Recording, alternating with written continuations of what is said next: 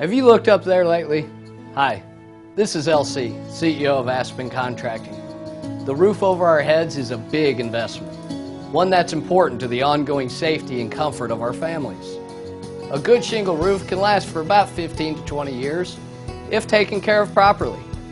Our company has repaired or replaced more than 30,000 roofs all over the country, mostly due to storm damage but sometimes because a property owner failed to keep an eye out for wear and tear and let it go too long. First of all, check on your roof once or twice a year.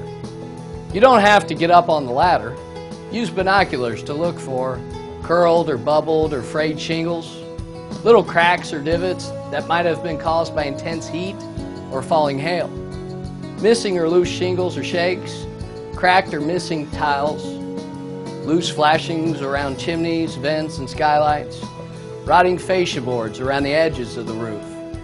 And always check for water stains on ceilings following a bad storm. But don't wait for a leak to appear.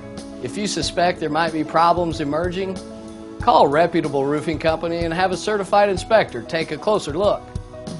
Here are some easy tips for keeping your roof in good shape. Trim trees away from the house, Make sure gutters and downspouts aren't clogged with leaves, sticks, or other debris. If algae, moss, or mildew are growing on your roof, have a pressure washer contractor take it off. And don't walk on the roof if you can avoid it. Leave that to the pros who are properly trained. Any good roof installation should come with solid warranties on both workmanship and materials. When in doubt, have a contractor come out and do a thorough inspection. Good companies like My Aspen Contracting will conduct a professional inspection free of charge. A little preventative maintenance will extend the life of your roof and can save you lots of headaches and money.